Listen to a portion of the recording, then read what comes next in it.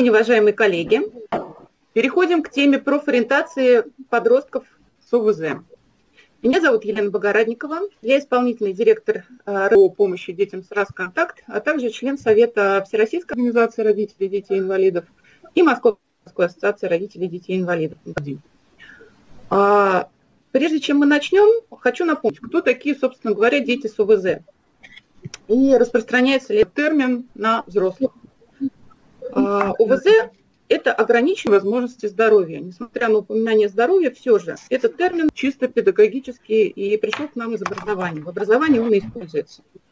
Напомню, что он закреплен а, в законе об образовании и означает, что у ребенка есть какие-то сложности именно э, с образованием. Он испытывает какие-то трудности в обучении, а инвалидность э, как может быть оформлена при этом ребенка, так и может отсутствовать. А, эти, этот статус у нас получается благодаря тому, что ребенок, а, его родитель обращается за заключением ПМПК, заключение ПМПК и удостоверяет установление этого статуса. Статус действует до окончания обучения в школе. И далее, чтобы получить какие-то э, возможности для того, чтобы учиться дальше – ребенок должен оформить после 18 лет инвалидность, потому что статус УВЗ на дальнейшее обучение никаким образом не распространяется и преференций никаких не дают. Получить их уже будет нельзя, если не оформлять инвалидность. Мы, родители, стараемся вырастить наших детей максимально не да? и для этого стараемся дать им возможность а, приобрести профессию, стать самостоятельными, как-то, в общем, управлять своей жизнью. И э, для того, чтобы они были успешны в этой работе, конечно, нужно э, к вопросу профориентации дойти э, самым непосредственным, серьезным образом. Грамотная профориентация для детей с УВЗ выходит вообще на передний план, как на мой взгляд, так, я думаю, со мной согласятся и коллеги, которые будут выступать. Потому что если обычный ребенок может каким-то образом компенсировать те дефициты, которые он испытывает, то для ребенка, те сложности, которые он испытывает, то для ребенка с ограниченными возможностями здоровья, а, пожалуй, они иногда становятся непреодолимыми трудностями. И так получилось, что спикеры нашей секции в большинстве своем работают с людьми с ментальными нарушениями и инвалидностью. И это совершенно не потому произошло э, вот такое вот массовое наше явление именно тех, кто занимается ментальными э, детьми, взрослыми с ментальными нарушениями, а потому что в структуре э, детской инвалидности и во взрослой эта тенденция тоже наблюдается, а у нас на первый план выходят э, нарушения именно ментальные. А, также там достаточно много и двигательных, и речевых, значительная доля тоже им принадлежит. И добавлю, что очень часто ребенок имеет не одно нарушение. То есть если речь у нас идет о ментальных нарушениях, то часто это сопровождается и речевыми, могут, может сопровождаться какими-то двигательными нарушениями, или как минимум моторной неловкостью. И, в общем, это часто бывает именно комплексная проблема. А, значит, на экране вы видите презентацию Московской городской ассоциации родителей детей-инвалидов. Это мониторинг, который проводился в Всероссийская организация родителей детей-инвалидов, и Москва в нем также участвовала. Представлен он был на съезде. Можно было использовать любые данные, мне просто близки, безусловно, а, видите, они коррелируют полностью с всеми данными официальной государственной статистики. И здесь вы видите, собственно говоря, а, каков характер нарушений и каково распределение. Можно было выбрать не один пункт, поэтому, соответственно, вы видите довольно много сочетанных вещей. Так, у меня не получается переключить следующий слайд. Если можно, помогите мне, пожалуйста. Потому что у меня не листается. Вот, спасибо большое. А, ну, не переключила. Спасибо за помощь. Так, теперь вернуться назад. В общем, пока у меня... Да, спасибо. Все, я не трогаю больше пункт. можно мне второй слайд, и э, я пока про него буду говорить, пока он зафиксируется наконец на экране.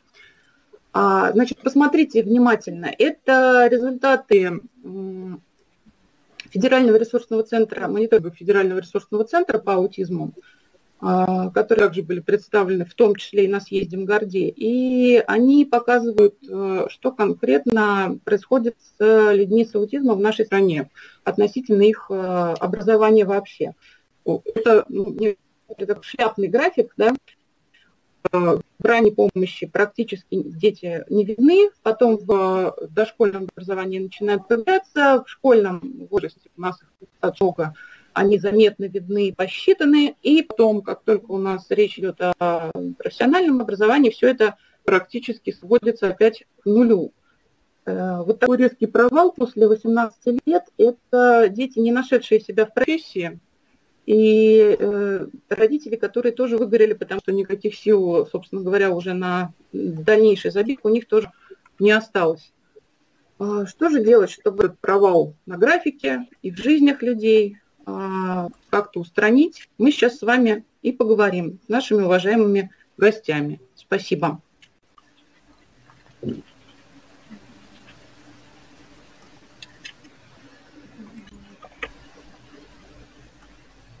Я думаю, что мы можем представить спикеров.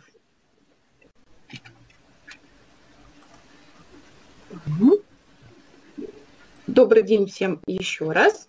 А я вам рада представить Юлию Володину, руководителя ОНО «Школа профессий», а, Елизавету Фокину, директора Государственного музея-заповедника Царицына, Галину Головину, педагога-психолога, руководитель Центра социальной адаптации и профессиональной подготовки для молодых людей с РАС и выраженными ментальными нарушениями из Технологического колледжа 21. Игоря Новикова, директора автономной некоммерческой организации содействия социальной интеграции инвалидов в пространстве равных возможностей и соучредителя земного проекта Everland, о котором он сегодня будет рассказывать. И Антонина Стейнберг, руководитель проекта поддержки людей с синдромом Маспергера. Добрый день, коллеги. Добрый день. Добрый день. А, я была бы рада, наверное, тогда перейти к выступлению Юли Володиной. Хорошо. Юля, готова? Да, я готова. Да, да. Будьте добры, пожалуйста. Я буду говорить о профессиональной ориентации подростков с ментальными особенностями. А, проект, который я представляю, «Школа профессий», он проводит а, такие встречи, занятия по профессиям а, не только с подростками с ментальными особенностями, но и для нейротипичных детей. Собственно, проект создавался для них, это было 8 лет назад. А, но последние три года мы а, адаптировали программу а, под группу подростков с ментальной инвалидностью, но надо сказать, что это высокофункциональные подростки с сохраненным интеллектом и относительно легкими интеллектуальными нарушениями и социально приемлемым поведением. В группе, которую, которую мы организовали, всего 8 подростков, и, и мы с ними а, занимаемся тем, что а, ходим в гости в разные организации и изучаем профессии. Так, следующий слайд. А, на самом деле все специалисты, которые говорят о том, что нужно там, заниматься, думать о трудоустройстве или решать вопрос занятия, сходятся в одной мысли, и все согласны в том, что, э, собственно, самой профориентации э, как таковой нет для людей с ментальной инвалидностью. И также отсутствуют э, какие-то системные задачи, вернее, отсутствует системность в решении этих задач по трудоустройству и трудовой занятости. А, поэтому те традиционные методы профориентации для нашей аудитории совершенно не подходят.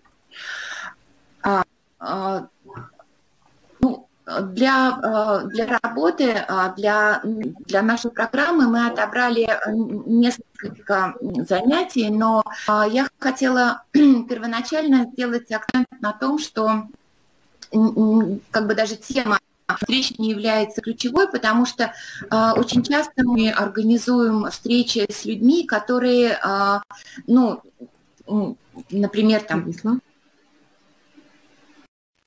библиотеки иностранной литературы, она руководит детским отделом иностранки, и понятно, что э, ну, очень многие подростки не смогут работать э, как переводчик, но тем не менее задачи, которые мы ставим, э, мы решаем. А это задачи следующего порядка. Мы развиваем социальные поведенческие навыки и коммуникации мы расширяем кругозор, мы обучаем подростков взаимодействию и а, общению, а также даем а, какие-то первоначальные знания о профессиях. И, например, на встрече э, по профессии переводчик мы говорили о том, что в библиотеке очень много разных людей, и а, возможности, а, то есть можно как-то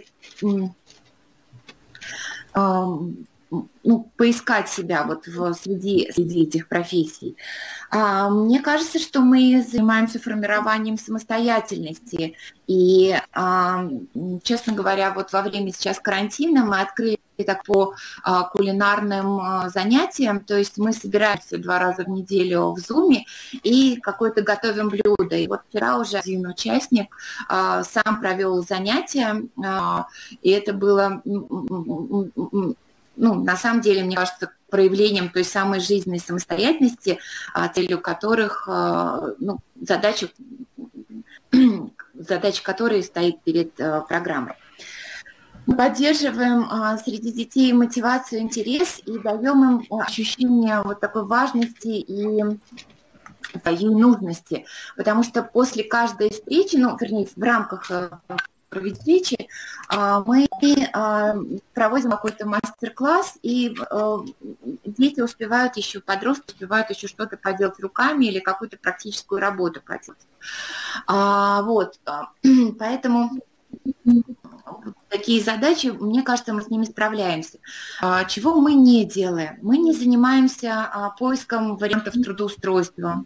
Мы не взаимодействуем а, с потенциальными работодателями, и пока это только программа работает в рамках таких личных контактов, которые можно потом развить. То есть это какая-то начальная стадия коммуникации с возможными работодателями.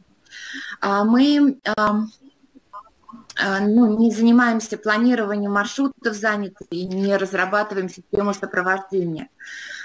А, а, вот те задачи, которые есть, мне кажется, они как бы ну, тоже очень важны для, для выстраивания вот этого траектории, а, траектории для ориентации, для нахождения себя и профессии. Накануне этой встречи я провела небольшой опрос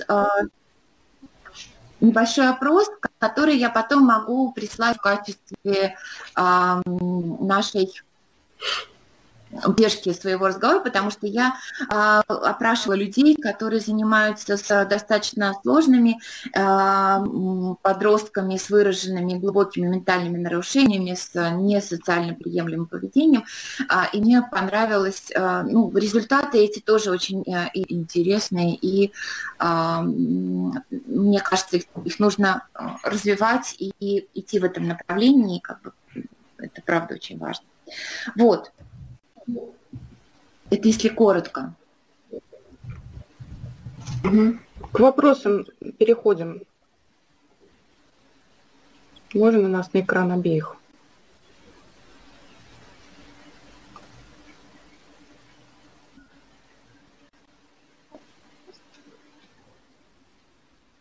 Юля, спасибо большое за доклад. А, я думаю, что презентацию с результатами мы опубликуем. А, я бы еще хотела спросить, э, э, я знаю, что вы проводили некоторое свое мини-исследование на тему того, а, как развивается, собственно, как развивается поляна, вот эта вот наша профориентационная. Какова роль МФО и какова роль государства на этом поприще? А, ну, все мои респонденты, которых я была, ответили мне, что а, роль, э, что государство не помогает, э, с одной стороны, оно не участвует, не помогает в профориентации. И решением вопросов трудоустройства и выстраивания этой траектории занимаются некоммерческие организации или даже частные инициативы без какого-то юридического лица. А, но, с другой стороны, ну, как бы некоммерческие организации – это те э, структуры, на которые опирается и государство, и общество. И мы знаем, что государство тоже выделяет и грантовые программы грантовой поддержки для того, чтобы НКО могли э, действительно помогать э, ну, своим вот э, целевым аудиториям. Э, и ну, в том числе, например, для выстраивания... Спасибо.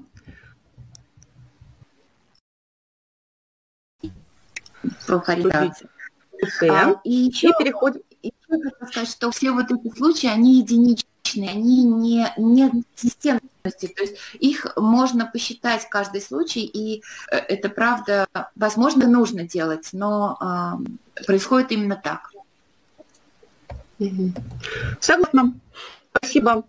Давайте тогда послушаем сейчас э, представителя как раз государственной системы. Да?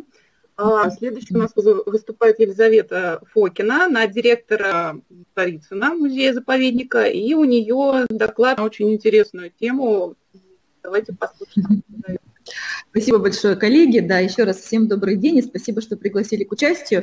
Я на самом деле хотела бы э, в какой-то степени описать проблемное поле и рассказать о тех возможностях, которые на сегодняшний день а, существуют как бы у государственных учреждений независимо от их профиля. Да, и мы как учреждение культуры, те возможности, которые у нас есть. Но начать я бы хотела вот с той проблематики, которую мы мы как наше учреждение, я как еще параллельно учредитель благотворительного фонда, искусство быть рядом. И мы на самом деле со стороны музея очень много а, взаимодействуем как бы, с большим количеством некоммерческих организаций, и в частности с э, РОУ «Контакт» и с многими другими организациями, в том числе реализуя проекты, я бы не сказала, не назвала их в чистом виде профориентационные, это скорее такое нащупывание тех ходов или тех новых решений, которые мы как а, такие институции можем на сегодняшний день вместе реализовывать с теми же самыми коммерческими организациями и детьми, и подростками, которые как бы еще не выросли детей, которых надо трудоустраивать, да, но а, возможности которых мы пытаемся а, как бы исследовать, а, имея и работая работая в нашем учреждении культуры. Хочу сказать, что э, вот на сегодняшний день, поскольку наш фонд э, искусства быть занимается в большей степени ресурсными классами, э, мы обнаружили такую проблему да, о том, что дети, которые выходят в среднее образовательное звено, и вроде бы по программе 8.3-8.4 наши дети должны получать большой профориентационный блок, школы не готовы, обладая своим каким-то ресурсным, а, а, ресурсной базой, да, не готовы, точнее, даже не то, чтобы, ну, как бы, наверное, в какой-то степени не до конца готовы давать а, те оборудования и те мастерские, в которых реально нуждаются дети с ограниченными возможностями здоровья, в частности, с ментальной инвалидностью. Да, большинство наших школ предлагает детям керамику, мастерские по столярному производству, да, что-то в рамках уроков труда. Да, и это действительно такая на, ну, как бы проблема, которая, с которой могут столкнуться большое количество школ. Что мы как музей предприняли, и, к сожалению, вот существующая ситуация с пандемией немножко притормозила наш проект. Я бы хотела вас попросить, чтобы вы показали, а вот у меня есть мой проект э, по садоводству, проект, который мы начали э, в этом году и получили на него грантовую поддержку э, департамента нашего социальной защиты а проект по внедрению школы такого семейного садоводства, такая инклюзивная мастерская совместно с детьми-подростками 12+, по э, проведению серии э, мастер-классов вместе с этими детьми, вместе с их, соответственно, родителями и тьютерами. Она у нас называется там курс по ландшафтному дизайну «Мой маленький сад», вот то, что вы видите. Да, и результатом этого проекта должно было, должны были стать мини-сады, которые наши дети, участники этого проекта, должны были подвести образом в ходе а, реализации этого проекта дети должны были пройти серию мастер-классов, они должны были, ну, в какой степени это по возможности освоить, и а, представить мини-сады на фестивале Moscow Flower и на фестивале историзма, на фестивале исторических садов. Тем самым попробовать вместе с нами, да, и мы тоже попробуем, поскольку мы обладаем и оранжереями, и у нас большое количество программ, э, которые мы реализуем в рамках э, программы «Урок музея», учебный день музея, в том числе для школ интернатов и для э, детей различных ресурсных классов, попробовать вот эту ну, попытку да, такой как в степени профориентации да, и возможности детей все-таки применить свои практические навыки, которые платить другие школы, не знаю, другие музеи, парки, да, потому что на территории Москвы достаточно много парков. А, я, а, вот это, это как бы одна из иллюстраций тех возможностей, которые на сегодняшний день действительно есть в учреждении культуры. Я бы хотела сейчас а, отразить вот некое проблемное поле, которое на сегодняшний день есть а, а, у любых учреждений культуры, любых государственных учреждений. А, мы все время говорим о том, что мы, как государственные, я вообще говорю, как бы такой собственной позиции, да, не всегда помогаем, не всегда можем а, трудоустроить к себе людей и так далее. Я бы хотела какой-то степени оспорить эту позицию, потому что я считаю, что мы в большей степени знаем тех возможностей, которые на сегодняшний день есть у государственных учреждений. Согласно законодательству, любое учреждение а, может и должно у тебя иметь до 4% людей с ограниченными возможностями здоровья. Это могут быть там, 2% молодых специалистов и 2% людей с АВЗ. Мы, например, как учреждение, да, на сегодняшний день имеем эти 4% людей с инвалидностью, из которых 3 человека, например, у нас люди с а, ментальными нарушениями. Да, у нас работает а, смотрителем а, девушка а, с ДЦП, у нас есть а, человек слабовидящий, и у нас есть а, человек, которого мы недавно устроили библиотеку с синдромом РАС да, ну, в молодой человек. Конечно, это вызывает целую серию сложностей, хотя, скажу вам, что законодательство абсолютно не ограничивает нас при приеме этих людей, оно не ущемляет их возможности. У них есть так же, как у всех, три месяца испытательного срока. Дальше у нас, как у государства, нет возможности, ну, совсем грубо говорю, да, уволить этих людей в связи, например, с невозможностью выполнения ими трудового, э, трудовых своих обязанностей. Да, у этих людей есть ограничения по времени работы 35 э, часов, которые мы должны обеспечить, мы должны обеспечить определенные условия труда. Но вот те проблемы, с которыми сталкиваемся мы и другие учреждения культуры, которые проявляют свою лояльность да, для того, чтобы принять таких людей. Одна из таких важных проблем – это неготовность порой родителей, которые приводят своего 17-летнего или 20-летнего ребенка а, работать э, там, в любое учреждение. Да, родители слишком опекают своих еще незрелых детей, да, опять-таки я не говорю сейчас про, про сложность э, заболевания, да, и порой мешают а, ему а, самостоятельной реализации. Да, у нас нет на сегодняшний день таких позиций, я имею в виду учреждения культуры, как тьютеры, которые могли бы сопровождать а, детей, с, э, людей с инвалидностью, да, и вот мы там два года назад вели переговоры, например, с такой некоммерческой организацией, как «Перспектива», которую вы все знаете, да, и мы не смогли найти юридического выхода с тем, чтобы принять людей к нам на работу и еще оплачивать дополнительно тьютеров, которые бы этих людей сопровождали. Да, мы, как любые учреждения, должны делать и э, ну, как бы, организовывать такую, такое управление, как лояльность или социальная ответственность тех наших сотрудников, куда мы внедряем людей с особенностями э, развития, как полноценных работников. И мы, на самом деле, вот сейчас в нашем учреждении у нас есть такая, такой отдел или служба гостеприимства, который занимается в том числе корпоративной политикой нашей культуры. Мы а, занимаемся большим объемом работы с а, рассказом нашим сотрудникам, в первую очередь, о том, как они, в общем, должны и могут принимать в свои ряды а, людей в чем-то а, не похожих на них. Да? да, у нас нет порой возможности на дополнительную оплату тех людей, наших же сотрудников, которые сопровождают, которые тратят свое дополнительное время на то, чтобы, в общем-то, организовать э, работу людей, э, с, особенно с ментальными особенностями, потому что они чуть медленнее включают процесс. Но при этом, а, вот уже подходя как бы к такой финальной стадии, на самом деле про это мы обсуждали с Ириной как бы вопросы, сегодняшний день нас очень увлекает тема, а, и мы даже сейчас инициируем целую серию проектов, так называемой картой новых профессий для людей с ментальными особенностями. И мы э, сейчас не видим вообще никаких а, а, ну, ограничений, я скажу, юридических, трудовых и даже уже организационных с тем, чтобы сформировать эту карту, да, и начать постепенно э, думать о трудозанятости, о профессиональной ориентации людей относительно этих профессий. Наши дети, с, например, с, с аутизмом, да, они могут работать э, в сфере, которая называется у нас документоведение, да, связанной с брошюровкой, сортировкой, э, с какой-то определенной сортировкой документов и так далее. Они могут работать прекрасно курьерами, и э, на это тоже есть масса уже определенных примеров у нас в городе.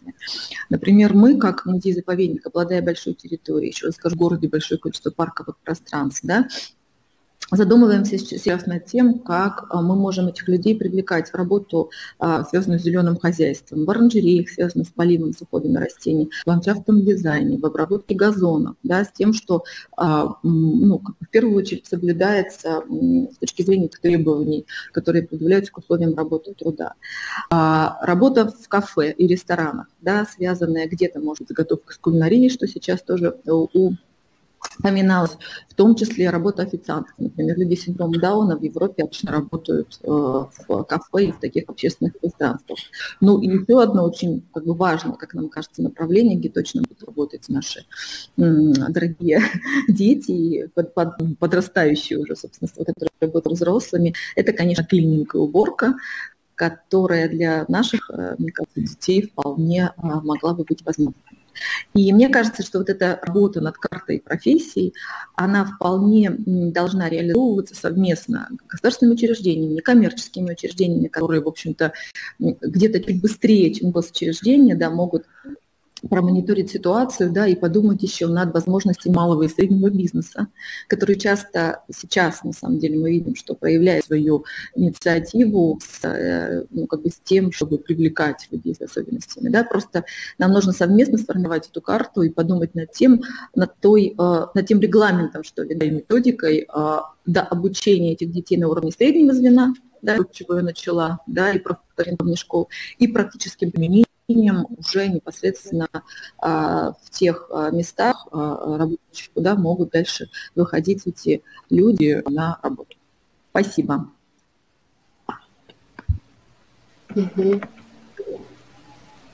Елизавета, спасибо за такой подробный рассказ. Мне очень понравилась идея карты э, таких новых профессий. Мне кажется, что мы все с удовольствием участвовали как составлении, так и пополнении. Да? И тут мы, в общем, готовы повзаимодействовать. Давайте тогда сразу перейдем к следующему докладчику. Я приглашаю Галину Головину.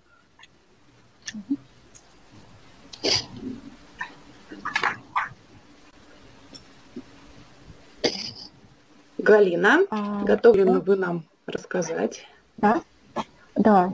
Здравствуйте, а, уважаемые слушатели. Спасибо большое за возможность поделиться с вами опытом профориентационной работы, которую мы реализуем в условиях государственного образовательного учреждения 21 а, технологического колледжа номер 21.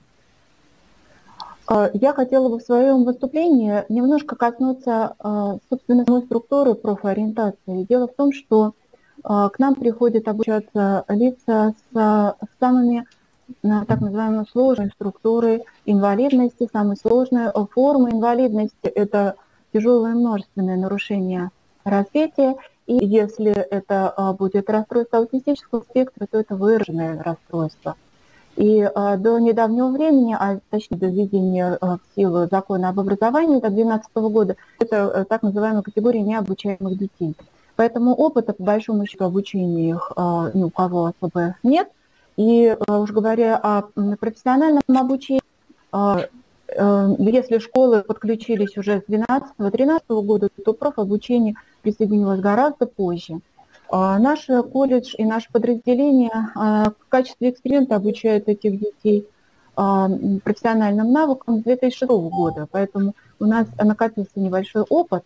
И мне бы хотелось рассказать о том, что эм, э, профессиональное э, самоопределение, по большому счету, сейчас я попытаюсь переключить. Угу. Если можно, следующий слайд, потому что что-то я как-то не получается. Ну. А, ну.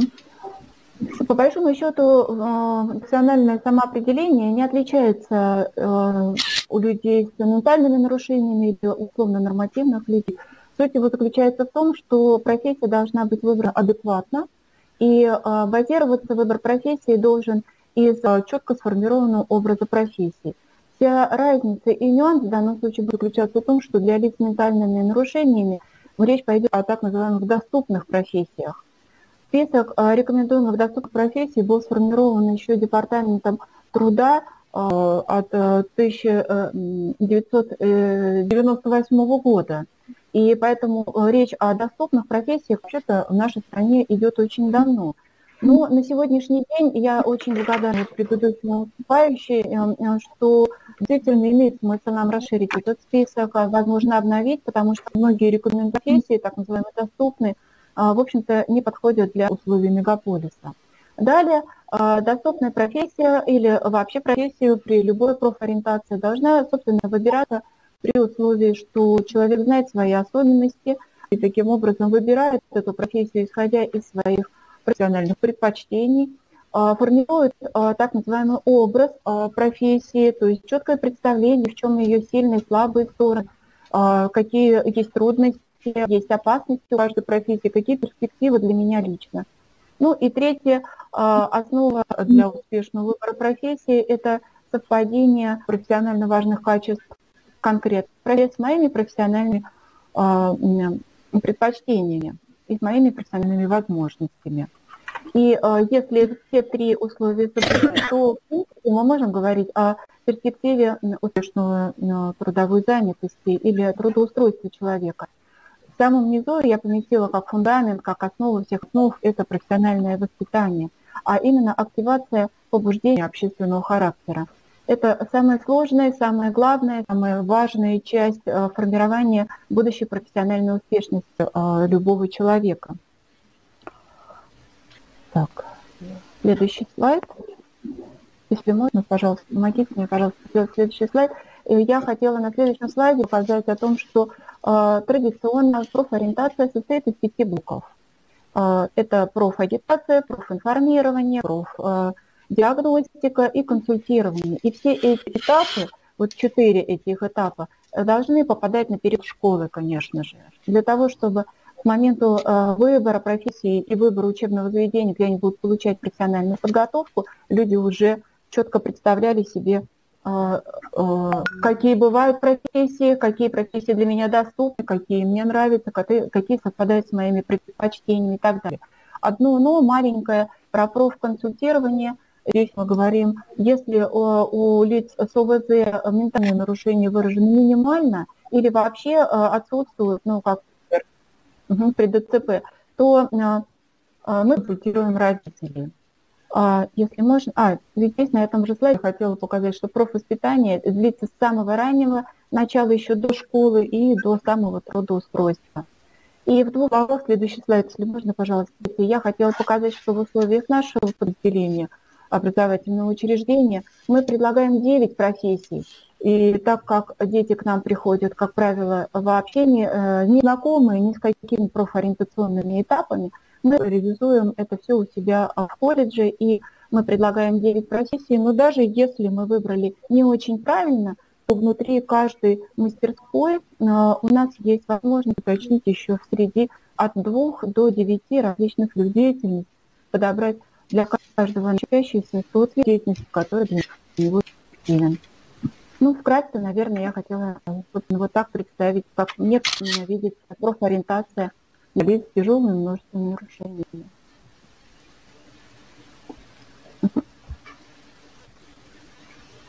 Галина, спасибо вам большое. А, хотела задать вам вопрос. А удалось ли вам взаимодействовать ли вы с центрами занятости московскими. И удалось ли пристроить каких-то ваших выпускников через эти центры занятости на работу? Спасибо большое.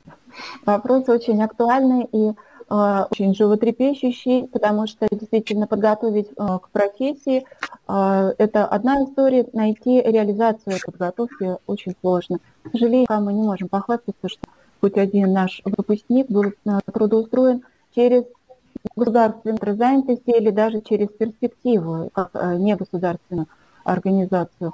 А почти все наши учащиеся э, каким-то образом трудозаняты, о том, что 47% наших учащихся трудозаняты, но это все трудозанятые в условиях НКО и каких-то родственных нам организаций.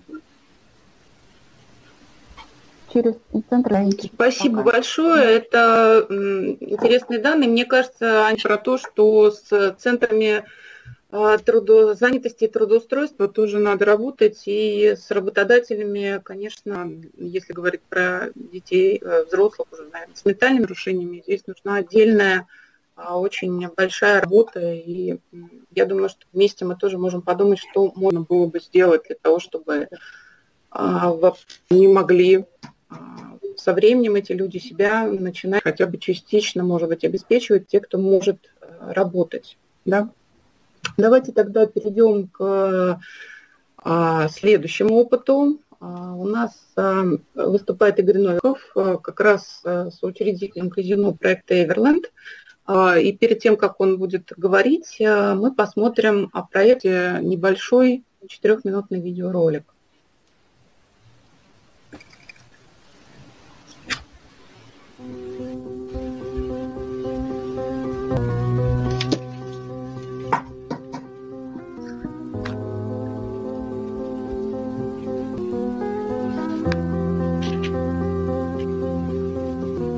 Почему у нас звука нету?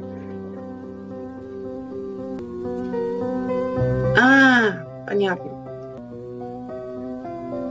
Давайте, я думаю, что я видела, а сейчас остальные... началась с того, что в 2004 году я попала в аварию, и у меня сломалась шея. С того дня, вот уже 15 лет, я живу в коляске. Инвалидность у меня с детства. У меня дистрофия сетчатки. Практически ничего не вижу. В основном это светотень и э, силуэты каких-то предметов. Сейчас у меня диагноз миопатия. Миопатия – это наследственное заболевание, которое приводит к атрофии мышц. В коляске я оказалась в 13 лет, э, совершенно неожиданно. То есть за 40 минут у меня оказали ноги, вот, и причина до сих пор, в общем-то, не выяснена. Пошли мы с друзьями отдыхать, решили искупаться. Воткнулся головой об дно. И тут э, рядом э, был друг, и он меня быстренько подхватил. Началась новая жизнь. За вот эти два-три года я выросла до специалиста, который может много чего делать, делает очень качественную свою работу, который востребован, который может зарабатывать столько, сколько ему нужно. Сделал для них сайт, так вот, наверное, сложилось, что уже на протяжении два года я уже помогаю создавать и выкладывать странички, сайты. Для меня Everland – это хорошая школа, когда ты сам отвечаешь за свои задачи, когда ты напрямую общаешься с клиентом, когда а, тебе помогают, но все равно 90% зависит от тебя.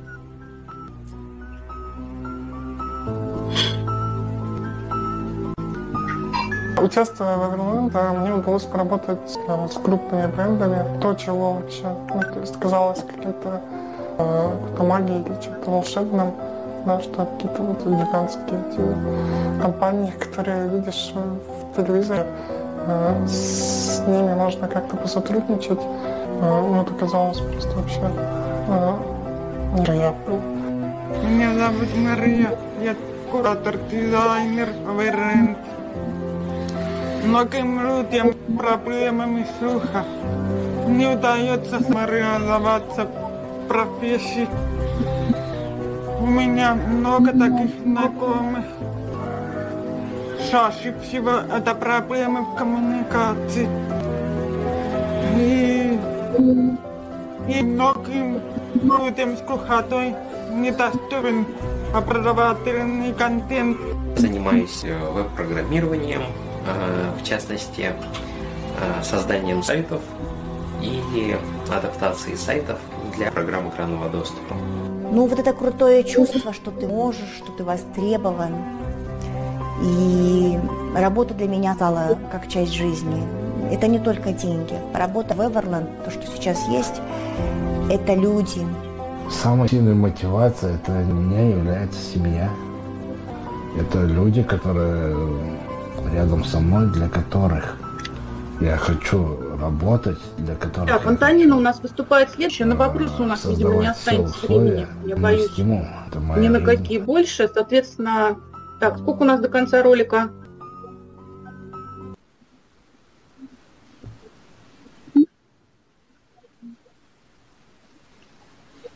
Мгм. Игорь, а, спасибо за этот э, ваш, вашу прекрасную интересную работу. А, Скажите, пожалуйста, какой вы могли бы дать совет а, мне, как матери ребенка с инвалидностью, вот опираясь на ваш опыт? Ну, скажу сразу, занятость наших детей и их дальнейшее свойство, развитие у них профессионального навыка, и самое главное, а, дальнейшая независимость по жизни, она должна коваться в самом начале, еще в школе, пока ребенок подросток. Конечно, пока в Москве не так много площадок, куда мы можем сходить с нашими детьми. Но я надеюсь, летом у нас будет полноценный в Оверланде открыт коворкинг, куда вы сможете прийти со своими ребятами, посмотреть.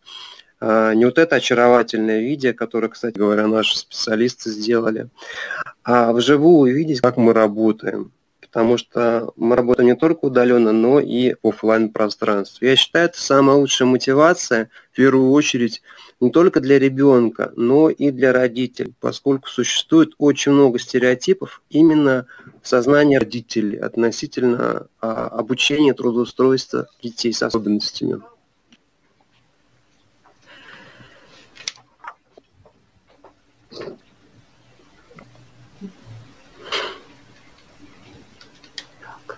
Можно нас обратно? Мгм.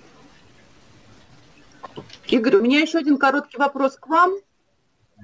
А, Если позволите, каковы критерии эффективности вашей работы? Как вы ее оцениваете? Ну, смотрите, Елена, мы а, проект социальный, но мы коммерческий проект. И сейчас у нас 80 э, человек работает, ребят с инвалидностью по всей стране. И основной наш критерий – это зарплата. То есть мы оцениваем себя не по количеству заключенных трудовых договоров, а именно по тому уровню э, финансовой состоятельности, который смог достичь наш специалист. Вот это основной критерий.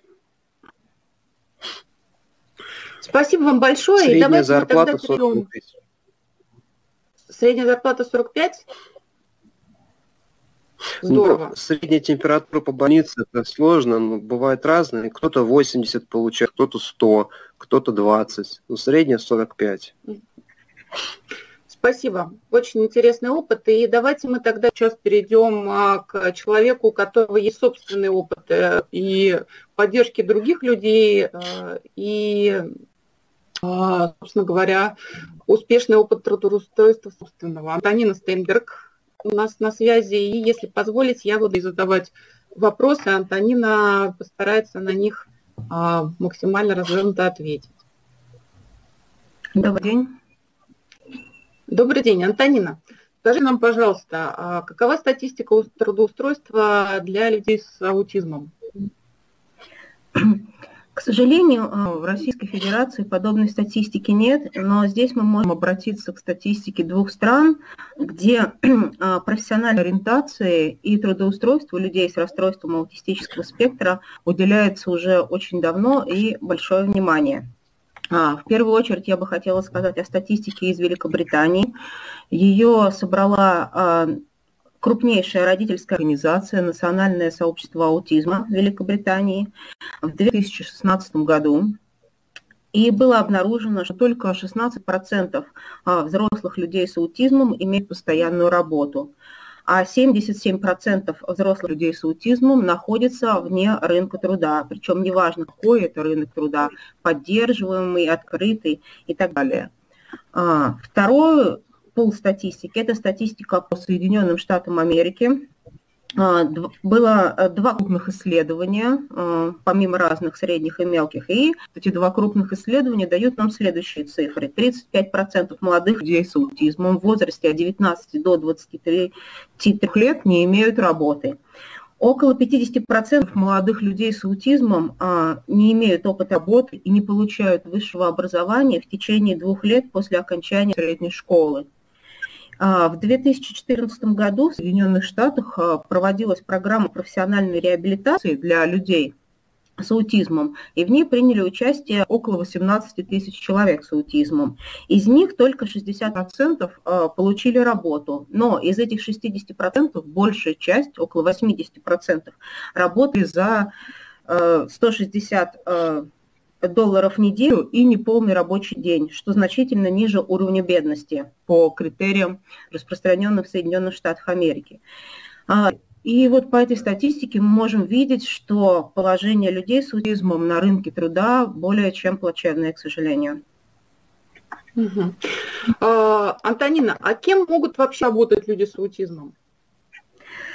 А, вы знаете, на данный момент принята такая точка зрения, что в принципе люди с аутизмом могут работать практически везде, если а, у конкретного человека с аутизмом а, будут какие-то особенности, таланты, склонность к этому. И единственным препятствием для освоения человека с аутизмом могут быть только нормативные акты. К примеру, в Соединенных Штатах Америки а, нормативные акты прямо запрещают людям а, с аутизмом и синдромом Аспергера работать, например, авиадиспетчерами. У нас в Российской Федерации есть постановление правительства от 26 августа 2013 года номер 733 о медицинском освидетельствовании лиц на предмет наличия отсутствия заболеваний, препятствующего поступлению на службу в органы и учреждения прокуратуры Российской Федерации исполнению обязанностей прокурорского работника. Там, в частности, перечислены и коды, к которым относятся а, все виды аутизма по а, МКБ-10, которыми мы пользуемся. Есть и другие нормативные акты, да, в которых прямо указано, что вот этот а, пул а, диагнозов а, является препятствием для освоения каких-то профессиональных обязанностей. Но, в принципе, если такого законодательного ограничения нет, то конкретный человек с аутизмом а, может освоить самую разную профессию. Есть программисты, есть ученые, есть садовники, есть продавцы, есть э, исследователи. К примеру, в Соединенных Штатах а, есть совершенно замечательная девушка, которая занимается в крупной лаборатории как раз исследованиями аутизма. А в России а, я уже много лет, почти 10 лет веду здесь группу поддержки для людей с синдромом Аспергера, это высокофункциональный аутизм. И к нам приходили люди совершенно разных профессий от технических до гуманитарных. Среди них были как и талантливые художники и певцы, так и научные работники. То есть может быть самый широкий спектр профессий. Угу. Антонина, спасибо. А, а можно тогда коротко про, а, по возможности, про препятствия при, трудоустройстве людей с раз, если мы можем об этом поговорить? А, здесь все начинается с диагностики. А, к сожалению, многие люди а, с расстройством аутистического спектра, особенно с высокофункциональным, не имеют правильного диагноза. То есть а, у них стоит какой-то другой диагноз, либо у них вообще нет диагноза.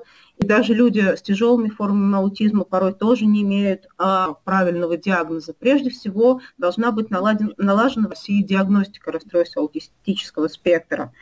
Затем, конечно, то образование, отсутствие профессиональной ориентации, которого, к сожалению, нет в школах, а в других учебных заведениях для а, людей с раз. А, еще бы я хотела присоединиться к словам предыдущих выступающих коллег, которые говорили о том, что зачастую родители препятствуют тому, чтобы их взрослые уже дети с аутизмом работали, и к тому, что нет э, пула профессий, нет опыта у работодателя по взаимоотношениям с людьми с аутизмом.